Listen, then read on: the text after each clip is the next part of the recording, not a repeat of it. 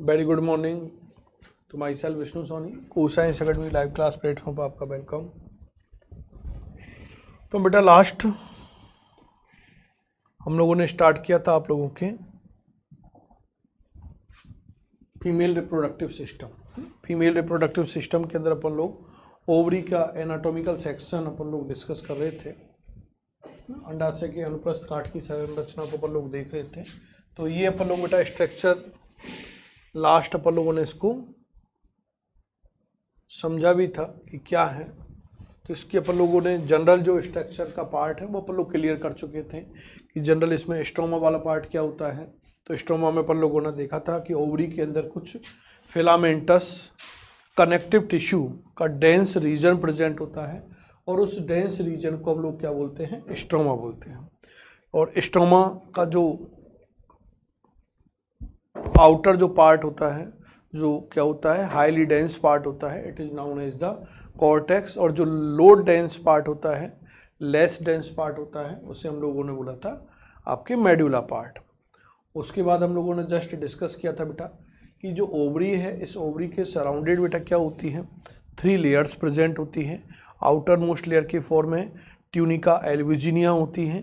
Second middle layer के form में हम लोगों ने देखी थी जर्मिनल एपिथीलियम प्रेजेंट होता है और थर्ड आप लोगों के इनर मोस्ट लेयर के फॉर्म में ओवरी के अंदर जो लेयर प्रेजेंट होती हैं, वो आपके ट्यूनिका प्रोपेरिया क्लियर यहाँ तक हम लोग बेटा क्लियर कर चुके थे। आज हम लोग टुडे इससे आगे का पार्ट क्लियर करते हैं और उसको आप लोग समझते हुए चलो, है ना? नोट भी करना है। तो क्या है बेटा?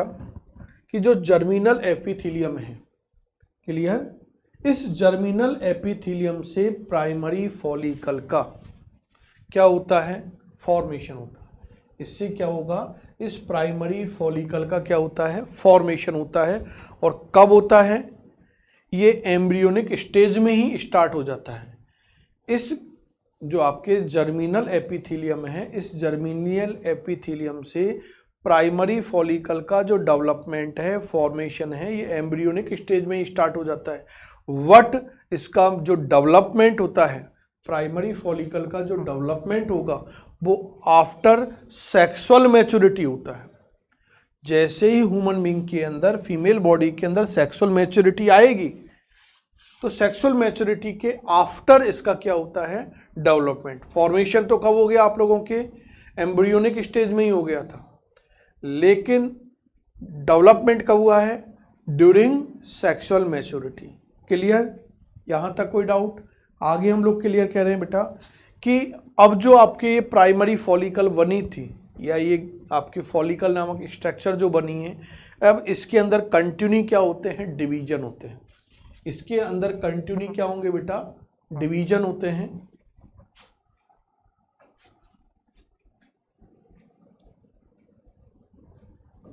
इसमें क्या होंगे?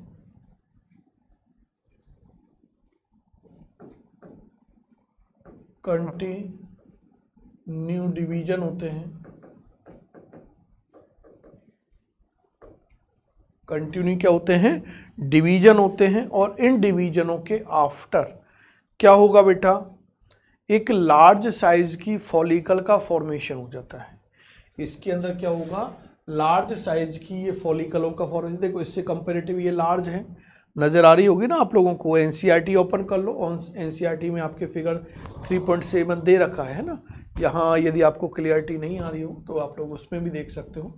तो उसमें आपको दिख जाएगा कि ये प्राइमरी फॉलिकल है। इनमें जब डिवीज़न कंटिन्यू डिवीज़न होता है तो इससे क्या होगा? एक लार्ज साइज़ की फॉलिकल का फॉर्मेशन होगा और it is known as the oogonium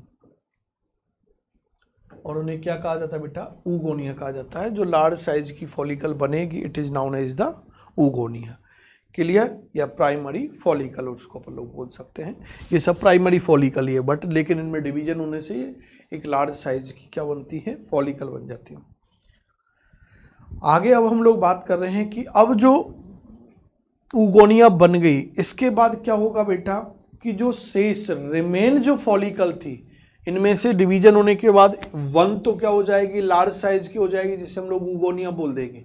लेकिन अब जो हमारे पास रिमेन जो फॉलिकल बची थी, वो फॉलिकल इस उगोनिया के सराउंडेड क्या होती है? डिपोजिट हो जाती है सराउंड होती है। और सराउंड होकर जो स्ट्रक्चर बनाएगी, यानी अब उस स्ट्रक्चर को हम लोग क्या बोलते हैं? ग्राफियन फॉलिकल बोलेंगे। इसे क्या बोला जाता है बेटा? ग्राफियल फॉलिकल बोला जाता है। क्लियर क्या था ग्राफी? हम लोगों ने शुरू से आप लोग वापस से देखो। हम लोगों ने कहा था कि ओवेरी के अंदर बेटा जर्मिनल एपिथेलियम वाला पार्ट होता है। लेयर है ना? इस जर्मिनल एपिथेलियम से ही क्या बनती है? आपकी प्राइमरी फॉलिकल बनती है। एट इन एम्ब्रियोनिक स्टेज में। एम्ब्रियोनिक स्टेज में ही डेवलप हो जाती है बट इसका जो मैक्सिमम डेवलपमेंट होता है, वो ड्यूरिंग सेक्सुअल मैच्योरिटी होता है। क्लियर फिर हम लोगों ने कहा था कि इन जो फॉलिकल हैं, इन फॉलिकल के अंदर बेटा क्या होगा? कंटिन्यू डिवीज़न होता है। कंटिन्यू ये क्या होती है? डिफ्रेंशिएट होती है डिवाइड होती है, और जिनमें से वन क्या हो जाती है? वन फॉलिकल लार्ज साइज़ की हो जाती है। It is known as the oogonia उनमें उसे क्या बोलेंगे? उगोनिया अब जो लार्ज साइज़ की, उसको तो उगोनिया बोल दिया, लेकिन उससे जो लेस साइज़ की थी, वो इस उगोनिया के सराउंडेड क्या होती है बेटा? डिपोजिट होती है। क्या होंगी? इसके सराउंडेड क्या होती हैं?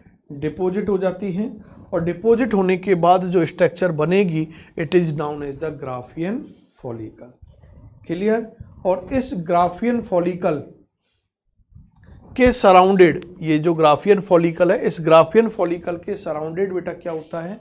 एक मल्टी लेयर्ड इनवलप प्रेजेंट होता है। इसके सराउंडेड क्या होगा?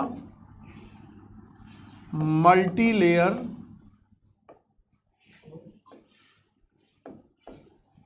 इनवलप प्रेजेंट होता है।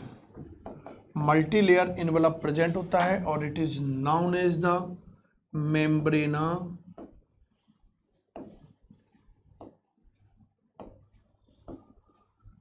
granulosa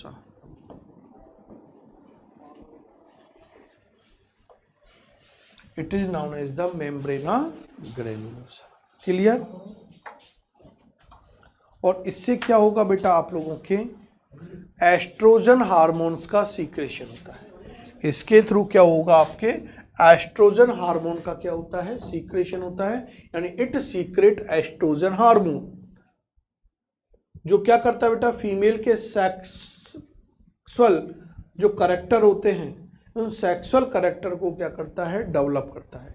Which develop sexual character of female clear अब क्या होगा बेटा? कि धीरे धीरे अब क्या होता है कि जो ऊसाइट थी ऊगोनिया से ऊसाइट बनेगी हम लोग देखेंगे। तो इस ऊसाइट और जो आपके ग्राफियन फॉलिकल बना है बेटा या मेम्ब्रेना ग्रेनुलोसा जो बना है, ये मेम्ब्रेना ग्रेनुलेसा और जो आप लोगों के ऊसाइट है, इनके बिटवीन एक कैविटी बन जाती है। क्या बनेगी बेटा? कैविटी बन जाती है। ये कैविटी बन रही है ना? दिख रही है ना लार्ज साइज़? आपको ये कैविटी और this cavity is known as the antrum उसे हम लोग क्या बोलेंगे बेटा? एंट्रम या फॉलिकल कैविटी बोलते हैं। एंट्रम और फॉलिकल कैविटी इसे क्या बोलेंगे? फॉलिकल कैविटी बोलते हैं। क्लियर कोई डाउट आगे देखें। नेक्स्ट हम लोग जो बात करते हैं बेटा, वो ये है कि इस एंट्रम के अंदर या फॉलिकल जो कैविटी है, इसके अंदर बेटा एक क्या होता है? कलरलेस फ्लूड एक colourless fluid follicular fluid fill रहता है। इस एंट्रम के अंदर क्या होगा? एक colourless fluid follicular fluid fill रहता है। क्लियर आगे हम लोग देखते हैं कि जो उगोनिया है, इस उगोनिया के सराउंडेड इस उगोनिया के सराउंडेड एक सिंगल लेयर इनवलप प्रेजेंट होता है। Oogonia is surrounded by single envelope. It is known as the corona radiata. It is known as the corona radiata और corona radiata is the egg membrane हम लोग बेटा आगे discuss करेंगे, है ना? टॉपिक आएगा, वहाँ और अच्छा बेटर क्लियर हो जाएगा। नेक्स्ट यदि हम लोग बेटा बात करें तो अब क्या बोल रहे हैं हम लोग? कि जो ग्राफियन फॉलिकल बनी है अब इस ग्राफियन फॉलिकल के अंदर बेटा क्या होता है? मियोसिस डिवीज़न होता है। अब क्या होगा? मियोसिस डिवीज़न होता है। और मियोसिस डिवीज़न के आफ्टर ग्राफियन फॉलिकल से प्राइमरी ऊसाइट और सेकेंडरी ऊसाइट का फॉर्मेशन होता है।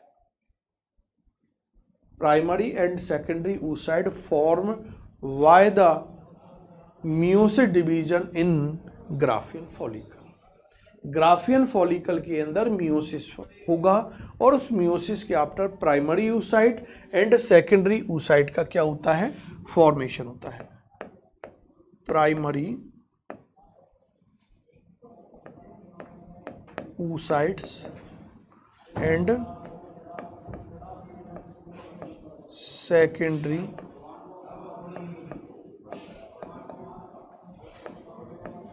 oocytes का फॉर्मेशन क्लियर? कोई डाउट तो प्राइमरी ऊसाइट और सेकेंडरी ऊसाइट का फॉर्मेशन हो गया, जो कैसे होते हैं बेटा? हैप्लॉयड होते हैं, क्योंकि graafian follicle is the diploid और म्यूसिस हो रहा है तो नंबर ऑफ़ क्रोमोसोम हाफ़ हो जाएँगे ना? तो नंबर ऑफ़ क्रोमोसोम हाफ़ हो गए तो हैप्लॉयड स्ट्रक्चर तो प्राइमरी यूसाइड और सेकेंडरी यूसाइड हैप्लॉइड स्ट्रक्चर बनेंगे। और भी बेटर क्लियर आपके, जब हम लोग गेमेटोजेनेसिस टॉपिक डिस्कस करेंगे, वहाँ और क्लियर हो जाएगा, है ना? किस तरह से ग्राफियन फॉलिकल वो सॉरी आपके जर्मिनल एपिथिलियम से उगोनिया उगोनिया से आपके प्राइमरी सेकेंडरी यूसाइड का डेवलपमेंट होता है, ये क्लियर हो जाएगा। आगे हम लोग बात करते बेटा, कि अब क्या होता है, इसके आफ्टर क्या होता है, कि जो सेकेंडरी ऊसाइड बना है ग्राफियन फॉलिकल में जब डिवीज़न हुए थे तो उससे प्राइमरी, सेकेंडरी ऊसाइड बने थे। तो जो सेकेंडरी ऊसाइड बना है बेटा, ये सेकेंडरी ऊसाइड क्या करता है आप लोगों के? इस ग्राफियन फॉलिकल को ब्रेक करके, इस ग्राफियन फॉलिकल को क्या करेगा? ब्रेक करेगा। और ब्रेक करने के बाद क्या होगा बेटा? इसको तोड़कर ब्रेक करने के बाद क्या होगा? ओवरी से रिलीज़ हो जाता है। ओवरी से क्या हो जाता है? रिलीज़ हो जाता है और this process is known as the ovulation और इस प्रोसेस को हम लोग क्या बोलेंगे बेटा? ओवुलेशन बोलते हैं। और सेकेंडरी यूसाइड जिस फॉर्म में रिलीज़ होता है it is known as the ovum clear उसे ओवम बोलेंगे। तो ओवुलेशन का मीनिंग आपसे बोर्ड में भी और नीट लेवल पे भी क्वेश्चन आ जाएगा वन मार्क्स का। तो ये याद रखना है। ग्राफियन फॉलिकल से सेकेंडरी ऊसाइट के रिलीज़ होने की process is known as the ovulation. Yes, आपके ओबम का ओवरी से ओबम का रिलीज़ होना क्या कहलाता है? ओबुलेशन कहलाता है। क्लियर? यहाँ तक कोई डाउट बेटा? अब क्या होगा? सेकेंडरी ऊसाइट के रिलीज़ होने के बाद, यहाँ से अब secondary oocyte follicle Graafian follicle से रिलीज़ हो गया। तो रिलीज़ होने के आफ्टर जो रिमेन हमारे पास ऊसाइट बचेंगे। रिमेन जो ऊसाइट बचती हैं, वो ऊसाइट्स क्या होती है बेटा अब?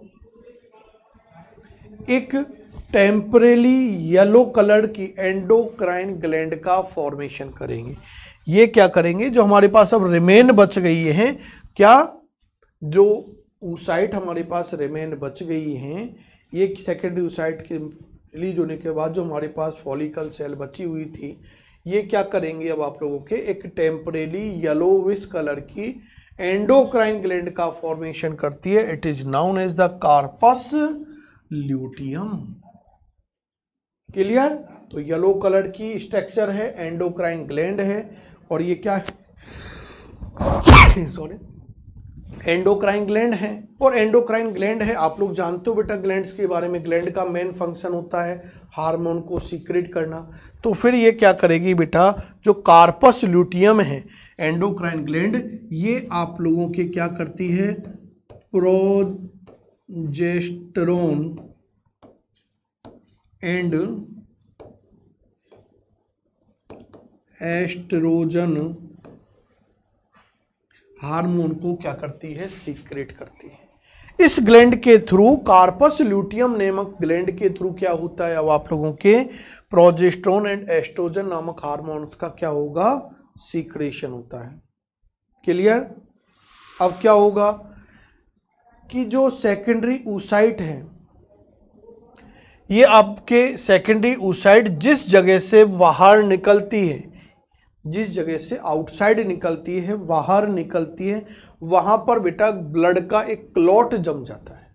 ब्लड का क्या होगा? एक क्लॉट डिपोजिट हो जाता है, और जो क्या होता है? येलो कलर के ग्रेनुल्स और उस जगह क्या होते हैं? ब्लड क्लॉट जम गया। उसके बाद वहाँ पर येलो कलर के ग्रेन्यूल्स क्या होंगे?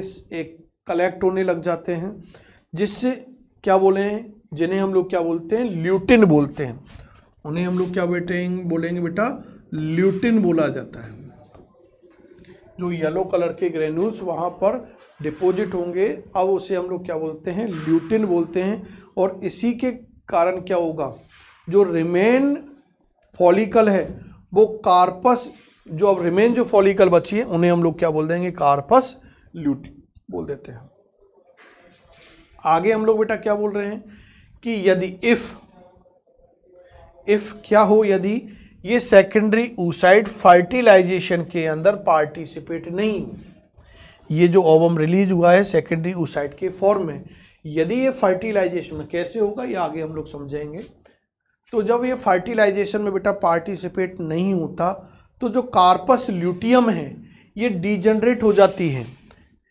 ये क्या होगी? डीजनरेट होती है विकटित हो जाती है और एक वाइट कलर की स्ट्रक्चर का क्या करती है? फॉर्मेशन करेगी और it is known as the corpus albicans है ना?